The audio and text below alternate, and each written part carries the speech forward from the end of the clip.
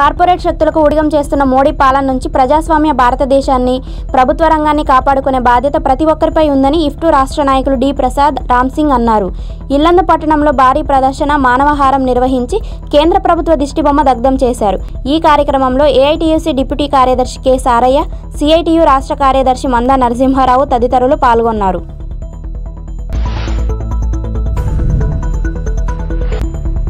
కేంద్ర ప్రభుత్వం అనుసరిస్తున్న కార్మిక ప్రజా వ్యతిరేక విధానాలను వ్యతిరేకిస్తూ ఈ రోజు అఖిలపక్ష కార్మిక సంఘాల ఆధ్వర్యంలో ఎం వెంకటాయపాలెంలో బస్టాండ్ సెంటర్లో సమ్మె నిర్వహించారు. ఈ కార్యక్రమంలో ఐఎఫ్టీయూ పాలేరు డివిజన్ అధ్యక్షులు పుల్లయ్య సిపిఐఎంఎల్ ప్రజాపంద పాలేరు డివిజన్ నాయకులు వెంకయ్య సిపిఎం ఖమ్మం రూరల్ మండలం కార్యదర్శి ప్రసాద్ తదితరులు పాల్గొన్నారు.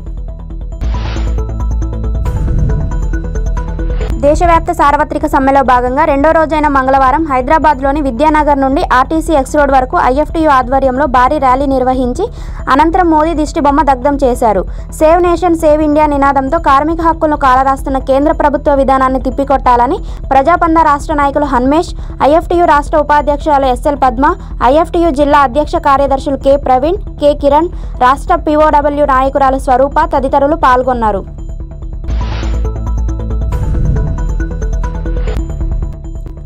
దేశవ్యాప్త సార్వత్రిక సమ్మెలో భాగంగా రెండో రోజు ఖమ్మంలోని కార్మిక సంఘాల ఆధ్వర్యంలో జెడ్పీ సెంటర్లో మానవహారం నిర్వహించి మున్సిపాలిటీ కార్పొరేషన్ ఎదుట ఆందోళన చేపట్టారు.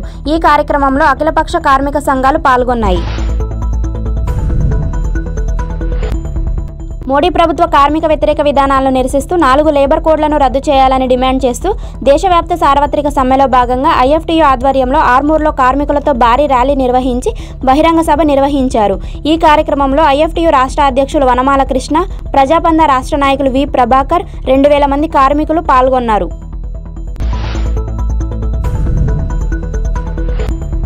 రాష్ట్రంలో అధికారంలోకి వచ్చినటువంటి బీజేపీ టీఆర్ఎస్ పాలక వర్గాలు ఉపాధి అవకాశాలు కల్పించడంలో పూర్తిగా వైఫల్యం చెందిందని రాష్ట్ర కమిటీ అభిప్రాయపడింది.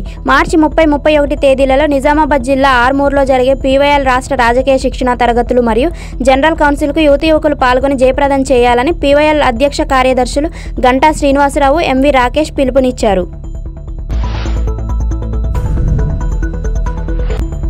సన్ రైజర్స్ హైదరాబాద్ ఈ సీజన్లో నేడు తొలి మ్యాచ్ ఆడబోతుంది. పూణేలోని మహారాష్ట్ర క్రికెట్ అసోసియేషన్ స్టేడియం వేదికగా రాజస్థాన్ రాయల్స్తో ఆరెంజ్ ఆర్మీ తలపడనున్నది ఇప్పటి వరకు ఇరు జట్లు పదిహేను మ్యాచ్ల్లో ముఖాముఖి తలపడగా సన్ రైజర్స్ ఎనిమిది విజయాలు సాధించింది.